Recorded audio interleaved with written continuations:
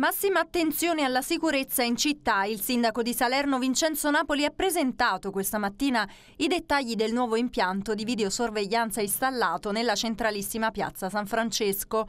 Da tempo i residenti, anche attraverso il comitato di quartiere, avevano chiesto di dotare l'area troppo spesso bivacco per senza tetto e ubriachi di telecamere. Ma penso che sia un fatto positivo, è sempre importante prevenire specialmente di sera con questi ex comunitari che danno un pochettino fastidio. Troppo tardi, lo devono fare un po' prima. Ci vorrebbero altre, molte, molte altre cose, perché è proprio abbandonata questa piazza. Andiamo a vedere, si pigliano le panchine, mancano molte volte le luci spente, quindi non sono le telecamere che poi fanno bella la, la piazza, sono altre cose. Ma scatta già la polemica proprio da parte dei residenti sulla posizione degli occhi elettronici che non consentirebbe di vigilare su tutta l'area. Danno una mano certamente per quanto attiene a un'area molto molto ristretta all'interno della piazza ma i veri problemi di episodi di teppismo che si sono verificati, se fossero state già installate le telecamere, non si sarebbe risolto assolutamente nulla, perché